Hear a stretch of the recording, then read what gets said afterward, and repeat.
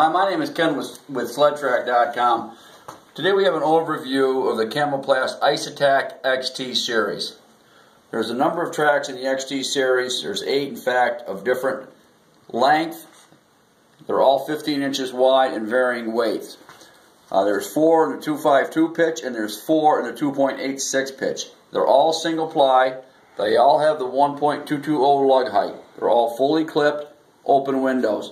They use Camoplast's Ice Attak XT technology.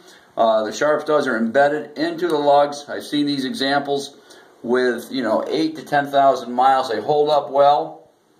They uh, don't uh, throw studs through your heat exchangers. They don't tear the track up with the longer studs.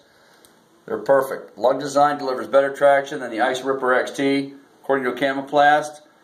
The uh, optimized rubber compound is superior traction on groomed trails. We've sold a number of these over the years, no complaints. Uh, for more information, go to sledtrack.com or call 1 800 394 8232. Thank you.